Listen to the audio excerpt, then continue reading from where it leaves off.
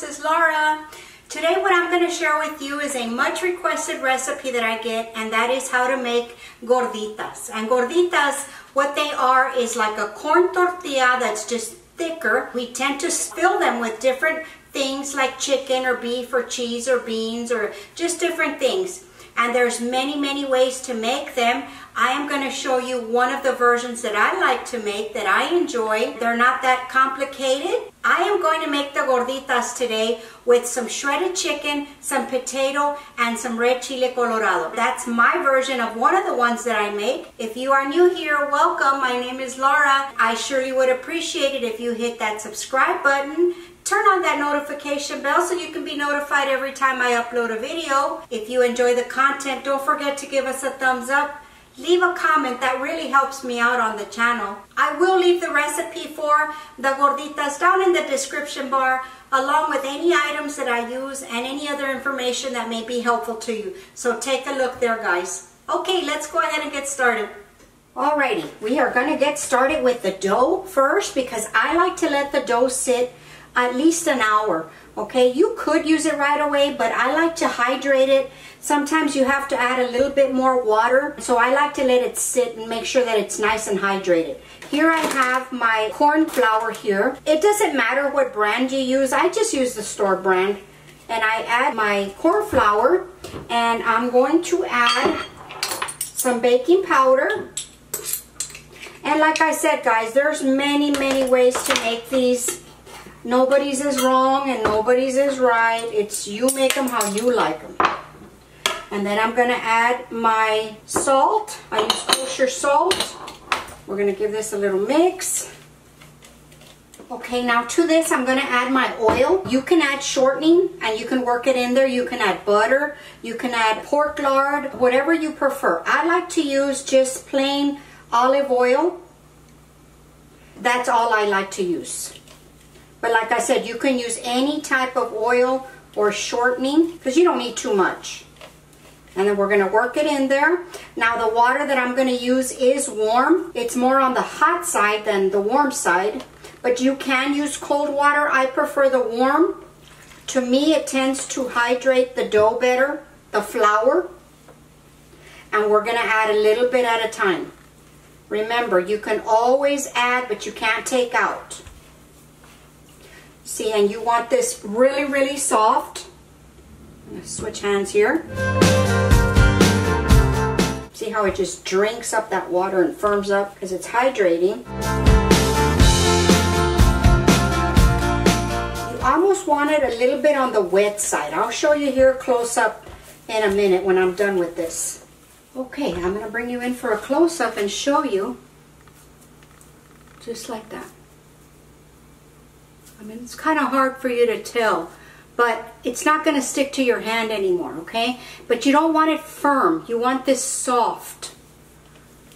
So we're going to let it sit for about an hour. If it firms up on me, I will add a little bit more water. Right now it feels good, so I'm going to leave it alone. Okay, I've covered this with some, with some plastic wrap, and we're going to let it sit for an hour, and I will be back. We're going to get started with our filling ingredients first item that we're going to use for a filling are some potatoes. And real simple, we're just going to boil the potatoes until they're tender. We're going to peel them and then we're going to mash them. So we're going to get this started. Okay, now for our salsa that we're going to add to our chicken and potato mixture. Here I have some chile guajillo, which looks like this. And I will have it listed below, guys, so don't worry. It looks like this. Let me get you just like this and all I do is take off the stem and remove the seeds and I cut them into small pieces just like this. Okay the second chile that I'm going to use is chile de árbol and it looks like this. Okay I will have this listed as well. So I added about I don't know about five or six of them and then if you like it hotter well you can add more. That's totally up to you. To this we are going to add just a little piece of onion and one garlic Okay, we are going to add some salt. I will leave the recipe listed below. Don't worry about writing it down. And then we're going to add a little bit of water just to cover. We don't want too much water. Because when we make our sauce, we want it thick so that our filling does not end up getting too watery. Okay, so as you can see, just like that, just to barely cover. Okay, we're to bring this up to the boil. Let the chiles rehydrate for about three to five minutes and that's all you need. Turn it off and then we will blend it. Okay, the chiles have come to the boil.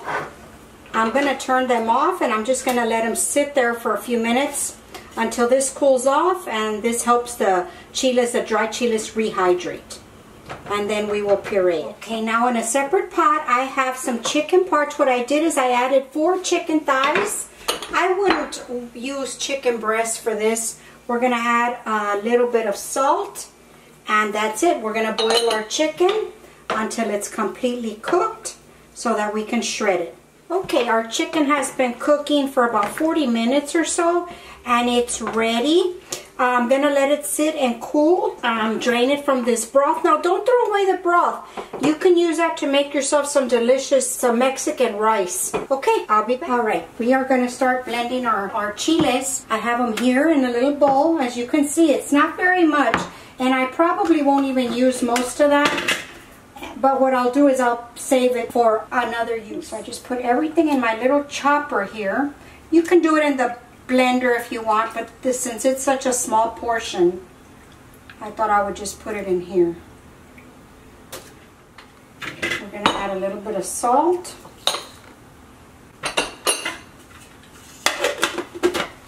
And then we're going to puree this till it's very, very fine.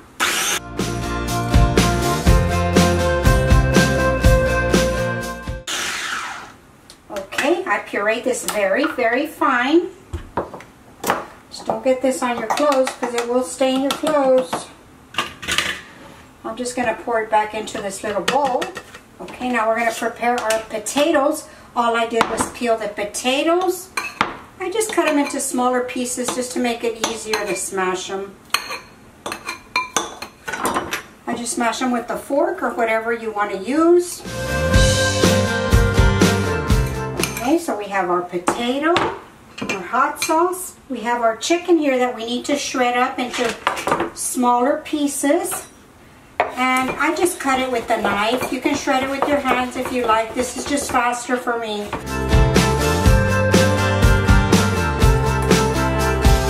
Alrighty guys, we are back at the stove. We are going to get our chicken filling with potato ready.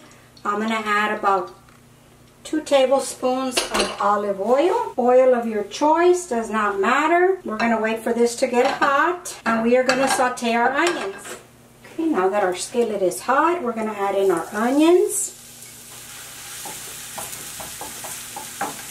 This will not take long because the onions are diced pretty small. We're going to add just a little bit of salt Now we're going to add in our garlic.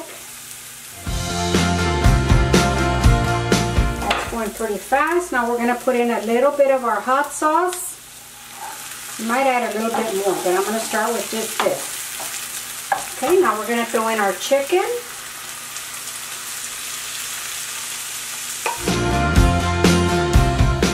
We're going to add in our potato. Okay, then we're just going to work in our potato. Just smash it all in there together. Now we're going to add in our salt. I hadn't added any salt because I don't want to over salt this. And of course use salt to your liking. Taste it, adjust it. You can always add but you can't take out. Okay, so I'm going to taste this.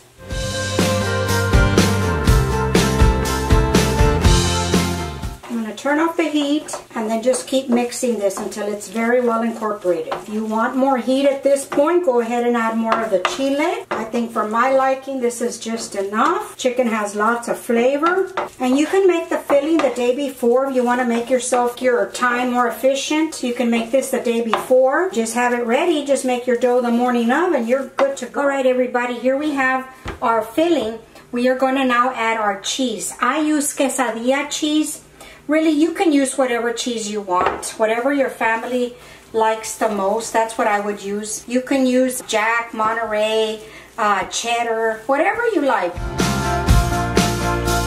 Okay, just like that. All right, we are gonna start pressing our dough. I have a tortilla press here. You don't need this. You can actually do these by hand, but I just find this easier, makes them more uniform. And all I did was cut a Ziploc bag and I slit open the sides and cut off the top. That's all you need. The measurement that I have found that works for me, like I said, you make them your own, make them whatever size you want. Normally two scoops on this large cookie scoop is, is enough for me. It's perfect for the size that I need. So it's about like that. I would say it's about two ounces of dough. Okay, we're gonna move that to the side. Just roll it up into a little ball. And you see how it doesn't stick to my hands, but yet I can press it gently and it still presses nice. Okay, so we're gonna put it in the middle here. And we're just gonna give it one good press, not really hard. You see the size that I made right there? Just like the size of a typical corn tortilla, okay? And now, before we take it off the plastic, I'm gonna put the filling in. And what I'm gonna do, this is gonna look like a taco, but it's not. We're gonna reshape it. We're gonna close the edges, just like that with the plastic. Okay, and then we take it off, like that. Just make sure that it's sealed so nothing gets out. Okay, and now I smash it in half. I put it down here and then I start shaping it round like that. Let me move this to the side to show you a little bit better. This is easier to show you. Or you can even do it in your hands like this. Just shape it into a, a circle here. And you see how everything stays inside? That's the fastest and easiest way I have found to make them the way I like them. Everybody makes them different, so you can find your own technique once you get to making them. And that's it. And this is about how thick you want them. That's about a half an inch thick.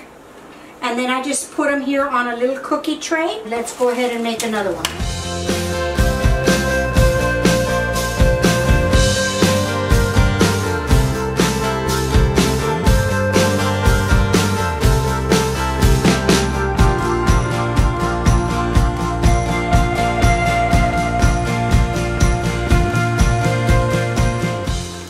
To show you another way that you can do it.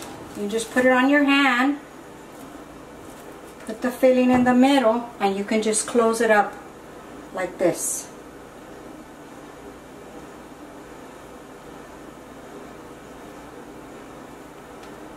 And then just turn it around and press it down.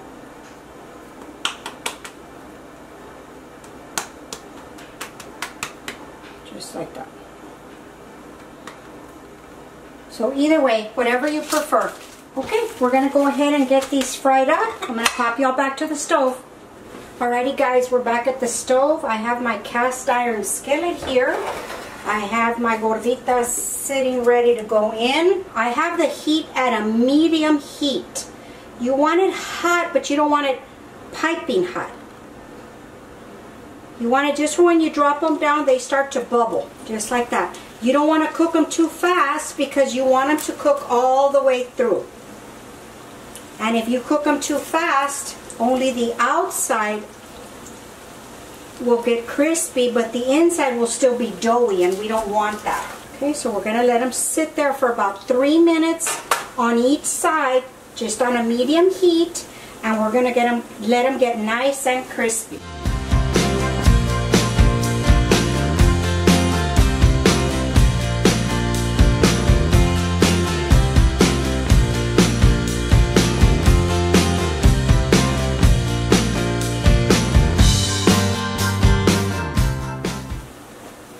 I'm going to bring you in close because we're going to flip these. And I want to show you what they look like before we need to flip them. Just like that. See how nice and golden they are?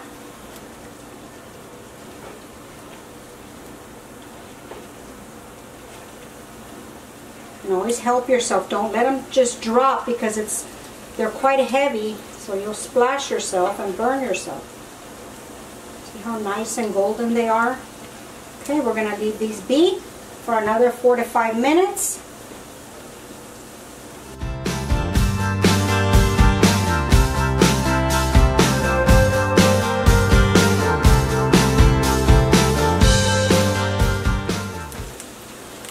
Alrighty, now that they have fried up real nice and brown, and I know that they are crispy on both sides, it's been at least 10 minutes. That's how much I let them cook. So I hope you can see the color of this gordita here. I'm just going to put it on a cooling rack over here and let them drip.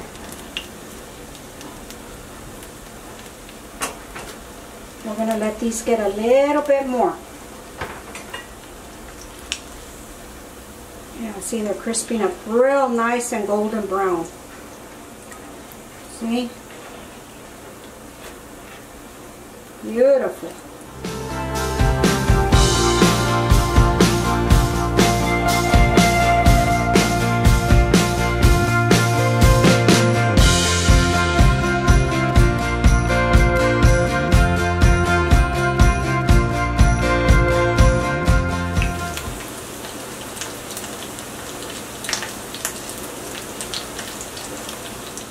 Okay, everybody, here they are. Look at that, how scrumptious that looks. And then here I just have some tomato, some diced tomato, some diced onion, some lettuce, some more cheese, and of course you cannot forget the salsita picante, and some sprinkling of cilantro if you like. Now, I'm going to get one of these, and all you do, just a typical gordita. Now, You'll hear how these are a lot more crunchy because of that cornstarch.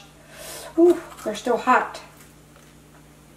I want to show you up close. I hope the camera picks it up. Look at that. All the chicken and the cheese. But yet all the corn is cooked. All the masa is cooked. So what we do is we take a little bit of, of lettuce. I mean, you add whatever you want to in it some lettuce, some tomato, a little bit of onion, some more sprinkling of cheese, and then of course, you cannot forget the salsita. Mmm, look at that. Okay, I'm to pick it up on a separate plate here. And then look at that. Yummy. Okay guys, let's give this a taste. Alrighty guys, we're gonna give this gordita a taste. It looks delicious. Mmm. Mm-hmm. Mmm. Alrighty, this is just too good. I cannot even start to describe how tasty they are. Now the cornstarch makes it a little bit crispy. If you make it without the cornstarch, they're just a little bit soft. I personally like the crispiness in the gorditas. It just puts them just way over the top. And then you dress them up however you like. These are just delicious. I hope you give them a try. They are so, so good. I mean, who's not going to like that? Chicken, cheese. Uh, it's just delicious. Wrapped up in this crispy corn gordita. Who's not going to like that, guys? I love it. Okay guys, that's going to conclude the video for today. I hope you enjoyed it. I really enjoyed making it for you. And go give it a try. Come back and let us know how you liked it. I will leave all the information down below in the description box and everything that I use. Just go take a look there. I'll see y'all next time. Bye.